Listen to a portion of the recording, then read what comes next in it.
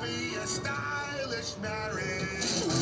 I can't afford a carriage, but you'll look sweet upon the seat of a bicycle built